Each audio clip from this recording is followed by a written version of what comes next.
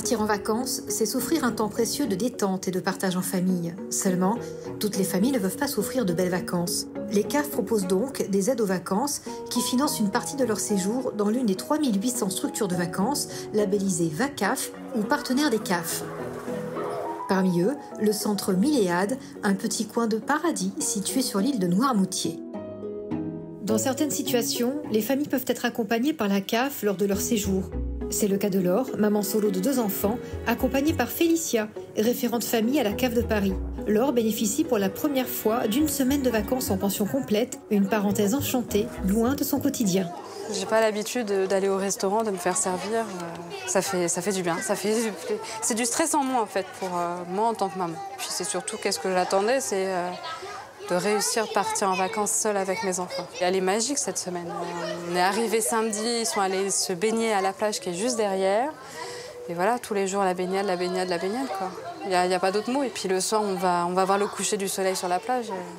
Que demander de plus? Regarde là-bas les familles bénéficiaires des aides des CAF ont accès, comme les autres, à toutes les prestations du centre de vacances. Euh, ça a une dimension euh, sociale et ça permet de recevoir euh, tout le monde et on est attaché à ça. On est attaché à cette mixité. voilà, c'est vraiment très important par rapport à, notre culture d'entreprise. L'objectif, c'est quoi? C'est des vacances réussies, c'est tout, pas plus que ça.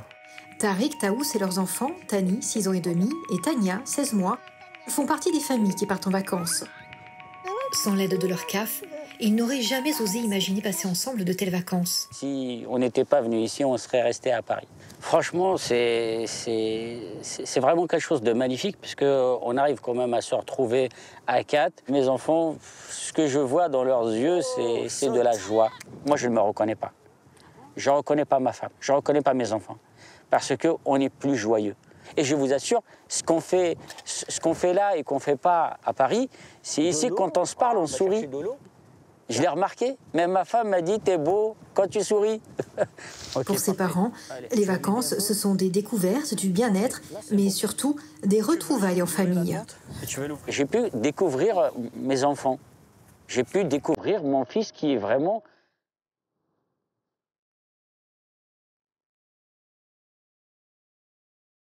ce que vous faites,